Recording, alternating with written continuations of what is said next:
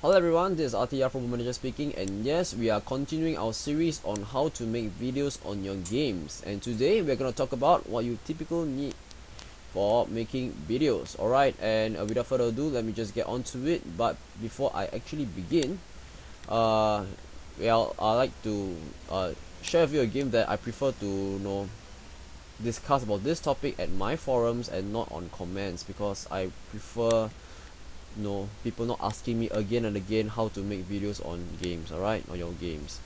And so uh, yep um, uh, my description below will show you where you can actually get to my forum and register. Feel free to discuss on, on uh, with me on this subject. And let me just get on to my little presentation alright? Uh, yeah. Alright what do you really need for making videos? You, number one you need a screencasting tool. And many people will just ask I want a free one alright a free web uh, a free screencasting tool that I can use uh, so that you know because I'm a student I want it cheap.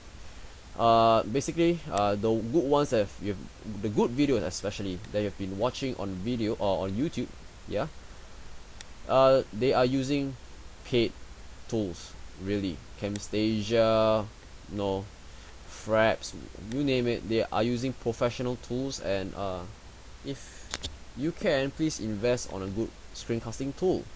Myself I have not invested into a good screencasting tool yet. I did but uh, I bought Fraps but um, Fraps isn't really really worth it. Let me just show you here quick quick what's Fraps. Alright Fraps is a real-time video capture and benchmarking. Now it's a very strong and powerful software to screencast your games but it one minute of Fraps costs you about 3 gigabytes of data so if you count the math the count the math alright uh 10 minutes will be 30 gigabytes and that is huge. Moreover you need to compress them into 2 gigabyte format so that you can upload to YouTube and it's gonna take a lot of time. And because for football manager 2010 and I believe for future series as well uh, I do not need this because uh, football manager by right is a very lightweight game alright? Uh, they're only very heavy on database but you can run Football Manager 2010 or I believe 2011 can be run on Windows mode. And if you can run your games on Windows mode typically it's not very heavy. Alright? It's not so heavy in the in, in, in data processing that you actually need Fraps now Fraps is better at uh, games like StarCraft 2 alright? Games like Modern Warfare. And they give you high quality footages alright? You will never know uh just you, you it just beats all competition alright?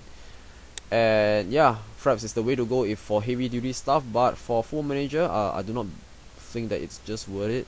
30 gigabytes especially I can run on Windows mode. Alright uh, but if you are looking for free tools uh, alright I'm using actually a free tool. One of them is Windows Expression Pro. Uh, you can just check out my previous video on that. Let me not waste time on talking about that.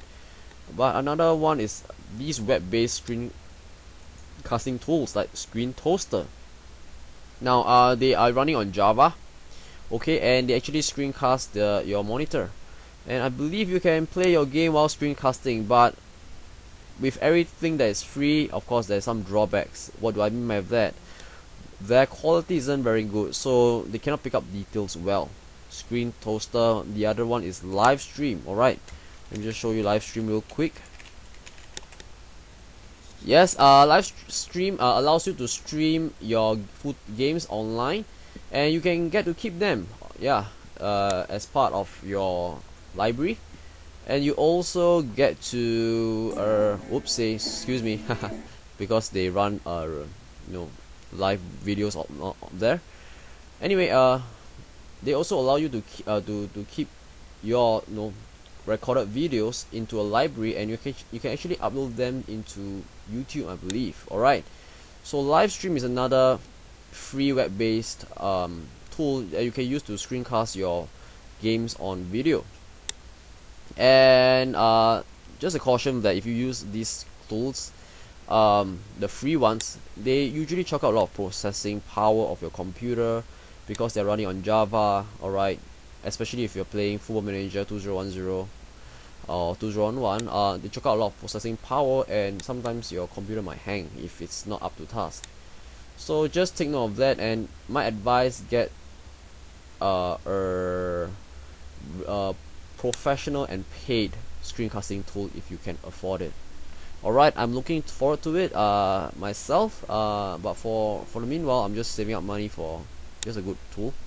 Now if you want you can feel free to donate to my cause yeah let's move on about uh, from the screencasting tool. Next we want to talk about a microphone. Alright get the directional microphones instead of the omnidirectional ones because omnidirectional microphones usually pick up all kinds of sound.